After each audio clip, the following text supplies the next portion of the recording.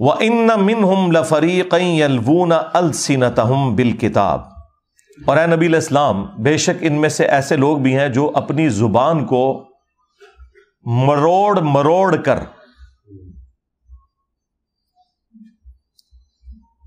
तलावत करते हैं किताब में से।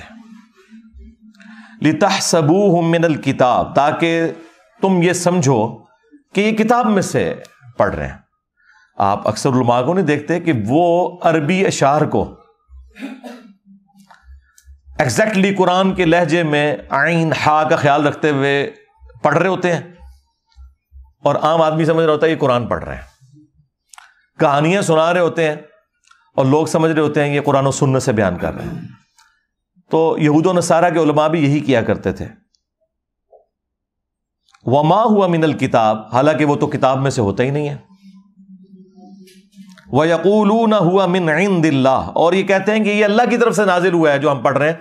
और कैसे जुबानें मरोड़ मरोड़ के एक्टिंग कर करके, ठीक है। वह यकूलून कदिब और ये अल्लाह ताला के ऊपर झूठ बांधते हैं। वहुम या आलमून और ये जानते भी हैं कि ये क्या काम डाल रहे हैं। हाँ। और ये सेम खराबी आज के उलमा में भी मौजूद है। ख्वाह वो ज्यूज में हो क्रिश्चियंस में हो मुस्लिम्स में हो। कि वो लोगों को बताते हैं, कुरान हदीस में ये लिखा हुआ है इलामी किताबों में ये लिखा हुआ है, लेकिन वो उन किताबों में नहीं होता। झूठ मंसूब करते हैं वो। और एक्टिंग ऐसी करते हैं। बल्कि हमारे तो अब इस मॉडर्न एज के अंदर तो ये वर्जन आगे जा चुका है। पहले तो सिर्फ़ ज़ुबान को मरोड़ते थे ना वो। और बड़ी एक्टिंग करके, हा, आइन की आवाज़ें निकालते थे। अब तो इन्होंने पगड़ियाँ भी और दाढ़ियाँ भी लंबी कर ली हैं। गेटअप भी पूरा ऐसा बनाया हुआ है कि लोग देख के रोब खा जाए।